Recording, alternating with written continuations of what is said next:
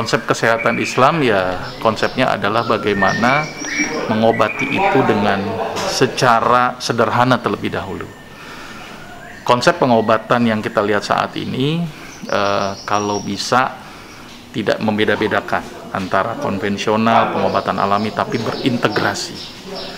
Ya, konsep pengobatan saat ini eh, perlu kita integrasikan selama memperhatikan aspek-aspek Islam pertama tadi perhatikan yang halal dan baik. Ya itu konsep yang paling penting gitu ya.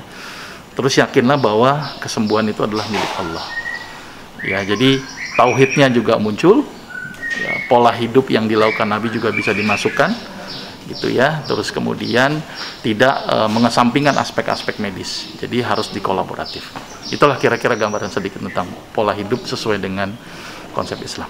Okay. Bahkan Rasul juga bilang ada dua nikmat yang sering kita lupakan yaitu as-sihat wal farag. Sehat dan waktu luang. Nah, kenapa ini cukup fokus kesehatan? Karena memang kadang-kadang lupa. Ini nikmat Allah yang begitu luar biasanya dan kadang-kadang sering kita lupakan. Jadi kalau sakit ya sudah ini mungkin ketetapan yang Allah berikan. Mudah-mudahan ini menghapuskan dosa-dosa kita. Ya, nah ini yang paling penting. Tadi yang saya bacakan. Wa idza maritu fahuwa yasfi. Dan jika aku sakit, dialah Allah yang menyembuhkan aku. Jadi sakit mata pada waktu itu diludahi oleh Rasulullah. Ya, saya pengen saya pengen mempraktekkan habis ini gitu ya. Ini nggak ada yang mau nih pasien saya udahin gitu kan. Akhirnya saya penasaran dengan hadis ini. Saya coba lah ke istri saya gitu ya karena penasaran ya. Kebenaran istri saya pas tuh lagi sakit mata. Wah coba ini ya. Lagi tidur ya saya buka saya udahi habis itu melek marah-marah. Ternyata istri saya sendiri pun marah-marah ketika diludahi ya. Tapi ternyata luar biasa loh dari efek ludah terlepas dari ludahnya Rasul berkah Rasulullah juga manusia biasa. Ya terlepas dari ludahnya Rasul berkah. Ya pasti ludahnya Rasul berkah. Tetapi ketika kita melihat sebuah ludah itu ternyata mengandung beberapa enzim. Ini yang cukup menarik. Salah satu enzimnya adalah enzim lisosim. Enzim apa ini? Enzim yang memiliki efek antibiotik alamiah.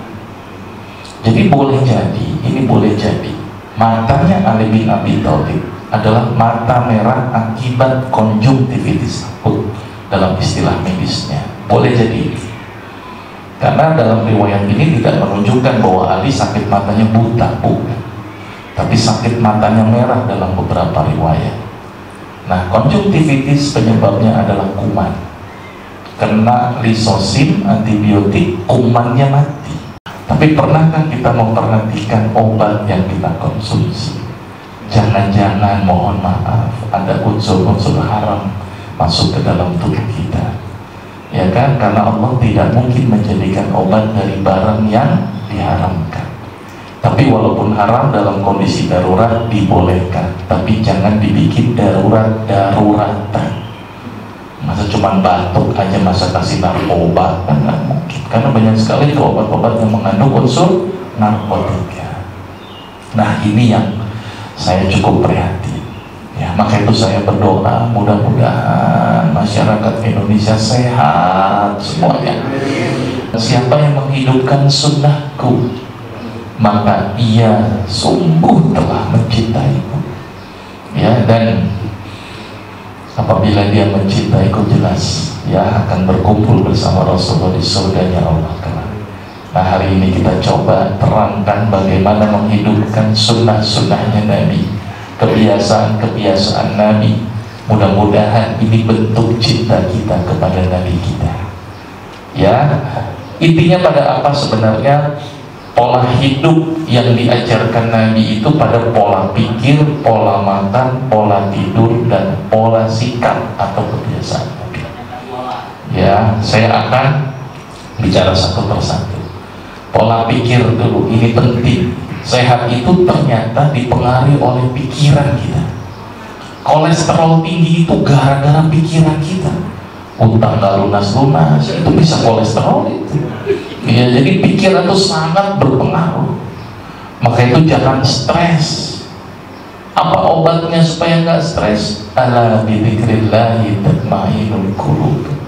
Dengan berzikir ingat Allah maka hati kita menjadi tenang dan orang stres itu nggak pernah ada yang ngaku bapak lagi stres enggak Bahkan saya pernah nanya orang gila pun kalau saya tanya, Bapak gila? Enggak dong.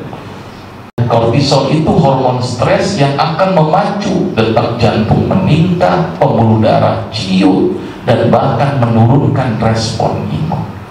Maka itu jangan stres, ini kuncinya. Senyum ini ternyata mampu mengaktifasi endorfin. Endorfin ini hormon yang bikin kita tidak stres. Gara-gara tidak stres maka terhindar dari banyak penyakit. Gimana tidurnya Nabi? yang pasti merem dulu. Kalau nggak merem nggak tidur ya. Punya kebiasaan Rasulullah sebelum tidur itu berwudu bersih. Bersihkan tempat tidur ya dan satu lagi ini Rasul mensunahkan tidur miring ke kanan. Ada apa dengan tidur miring ke kanan? Ternyata tidur miring ke kanan dari banyak aspek saja itu sangat bermanfaat. Dari aspek mohon maaf ekonomi saja. Tidur miring ke kanan satu kasur muat berlima. Jadi ngirit sebenarnya ya. Kalau terlentang paling banter dua tiga sudah penuh banget itu ya dari aspek kerapihan suami kanan, istri kanan, anak kanan rapi dilihatnya.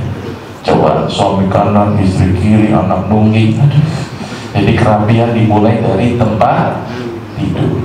Ditambah lagi juga Rasul melarang orang yang tidur tengkurap itu dilarang oleh Rasul.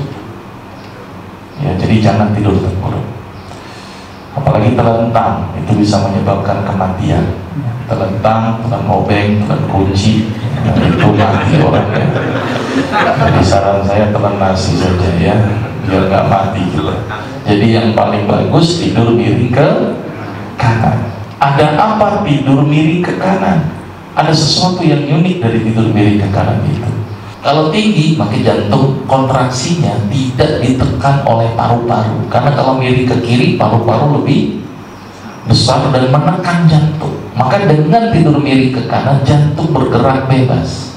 Sehingga nutrisi ke otak menjadi lebih bagus. Karena kenapa otak letaknya lebih rendah dari jantung ketika kita tidur miring ke kanan? Maka itu salah satu tips untuk mencegah pikun perbanyak tidur miring ke kanan dan perbanyak sujud. Sujud karena ketika sujud otak lebih rendah dari jantung sehingga nutrisi ke otak menjadi lebih efektif. Sudah sepakat ini ya? Jadi mulai sekarang tidur miring ke kanan ya. Biasakan tapi dok. Kan nggak mungkin terus terang iya memang. Tiba-tiba bangun sudah tengkurap ya udah itu urusan lain ya. Minimal ketika awal tidur biasakan ke kanan ya terus Rasul punya kebiasaan tidur ya setelah isya. Karena hadisnya ini. Ya Rasul tidak suka tidur sebelum Isya dan berbincang-bincang setelahnya. Kecuali ada keperluan atau kecuali di bulan Ramadan memang Rasulullah tidur larut malam. Kenapa kok harus habis Isya? Ternyata ini erat kaitannya dengan hormon melatonin apa ini? Hormon yang bikin kita tidur pules. Hormon yang bikin kita bahagia. Maka itu orang-orang yang tidur habis isya dan bangun di sepertiga malam untuk sholat tahajud secara teoritis akan muncul hormon kebahagiaan dan tereduksinya hormon stres. Munculnya hormon melatonin dan tereduksinya hormon kortisol jadi kunci kan kalau kita pengen biar ini bahagia biasakanlah tidur di awal malam dan biasakanlah bangun di awal pagi. Ini hubungannya dengan fisiologi fungsi tubuh kita.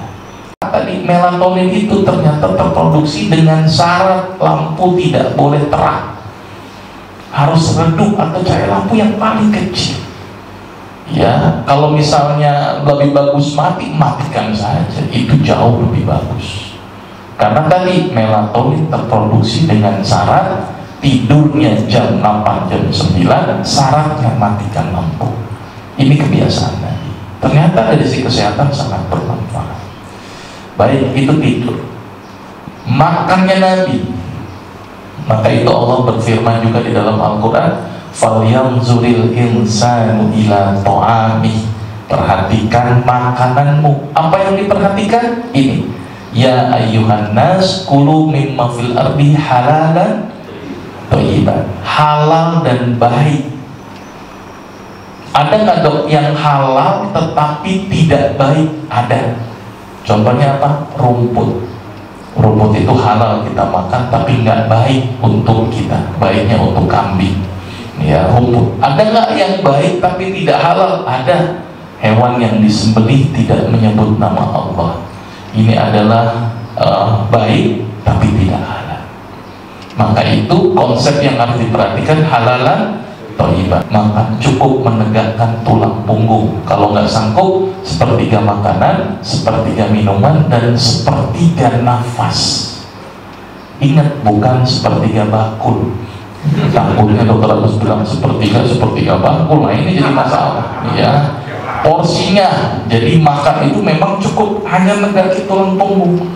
Kalau udah bunyi e itu udah kelebihan itu hati-hati mengkonsumsi hewan janda hewan yang memakan kotoran. Mohon maaf mohon maaf. Bagi yang seneng makanan ini lele hati-hati. Ini mohon maaf nih ya. Minum itu jangan langsung gluk gluk gluk gluk ya jadi dua tiga cukup. Ya dan kebiasaan Rasul juga kalau makan itu kan juga pakai tiga jari itu ya Pak ya. Ternyata tiga jari ini bermanfaat sekali. Porsi makanannya pas. Ya dibanding dengan yang lima jari. Aduh penuhnya minta ampun gak enak ini dilihatnya. Enzimatisnya juga sempurna. Lambung itu kan letaknya di kiri Pak. Mulut di tengah. Maka makanan itu harusnya belok maka itu untuk beloknya ini bagus ganjil di sini. Supaya sempurna ini beloknya. Makanya kenapa Islam melarang makan sambil diri? Ternyata kalau makan sambil diri itu bisa menyebabkan timbul yang namanya esofagitis. Maka itu pada orang yang diabetes saya larang itu mengkonsumsi yang manis-manis. Termasuk melihat orang manis juga saya larang ya, itu bikin gula naik juga ya ya ini terjadi. Maka itu kenapa saya minta gantilah daripada sirup mendingan pakai madu. Madu itu kan sifat. Allah yang bilang nih obat. Kenapa kita nggak pakai madu saja